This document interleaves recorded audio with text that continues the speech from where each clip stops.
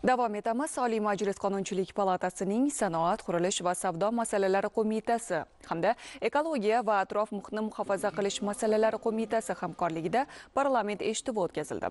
Unda qayta tiklanuvchi energiya manbalaridan foydalanish to'g'risidagi qonunning ijro etilishi holati nazorat tahlil tartibida Qashqadaryo viloyati misolida o'rganish yakunlari yuzasidan mutasaddi vazirlik va idoralar rahbarlarining axborotlari tinglandi.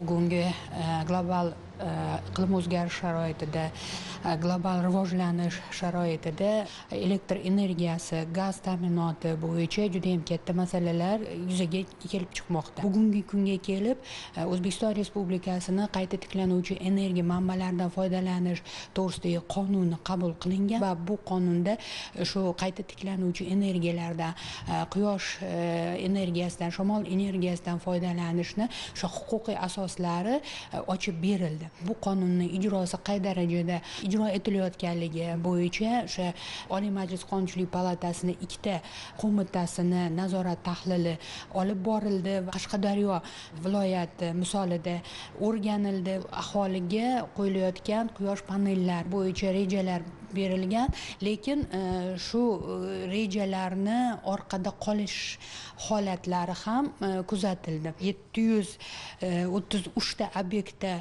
quyosh panellari o'rnatilishi kerak bo'lgan bir e, sharoitda besh yuz sakson to'rttagina obyektlarda bu jarayonlar amalga oshirilgan. Eshituvda mutasaddi rahbarlarni hisobotlari tinglandi va ikkita qo'mitani qo'shma qarorida bu yo'l qo'yilayotgan kamchiliklar kechiktirilayotgan masalalarga alohida e'tibor qaratish va yil yakuni bo'yicha bu masalalarni e, o'z vaqtida ijrosini ta'minlash bo'yicha qarorlar qabul qilindi.